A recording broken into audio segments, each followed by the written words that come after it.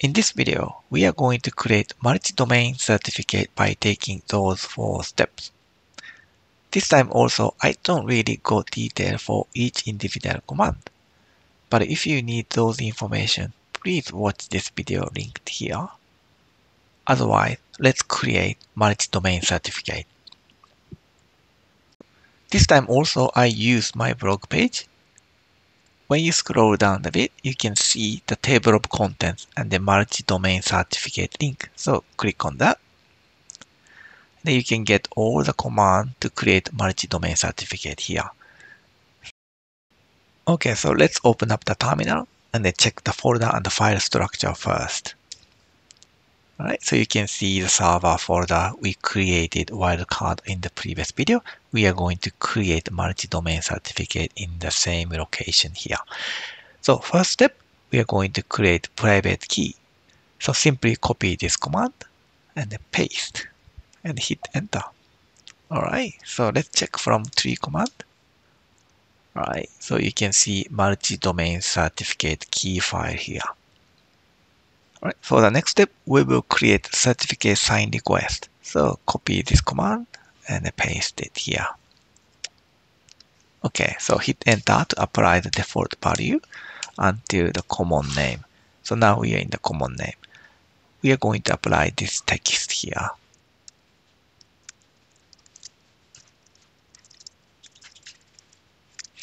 Alright, and then hit enter. And I put the dummy email account.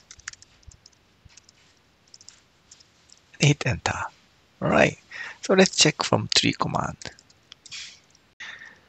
Okay, now we can see certificate sign request under the CSR folder here. For the next step, we are going to create a certificate file. But before we run this command, let's check that this mid-ca file.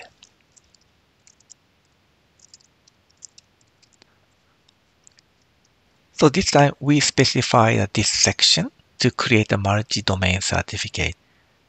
As you can see, these are some link here. It's alt names. So alt name is uh, listed here.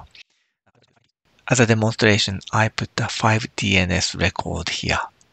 So actually you can add multiple domain like this. So for example, I put the additional DNS record. For example, we can put the different domain like this.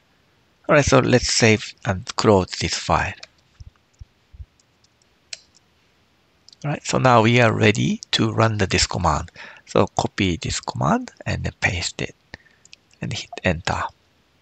So type the passphrase for mid-ca key.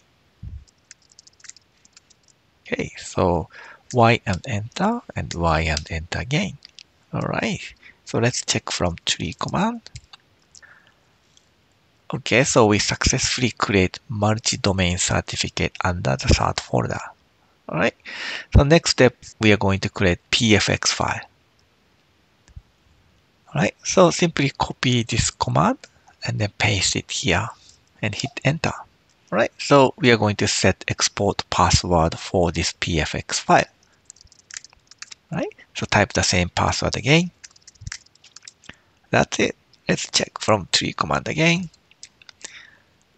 Right, so we successfully create certificate file including the PFX file like here. This is additional step, but if you want to check the content of this certificate file, you can do that by this command.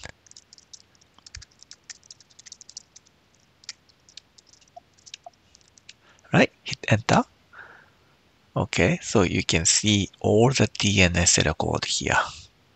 And the last one is the one I typed in in this demo. And also you can see all the information we typed in when we create the certificate sign request. This is here. Alright, so that's it. So now we are able to create single domain certificate wildcard certificate, and multi-domain certificate. That's great.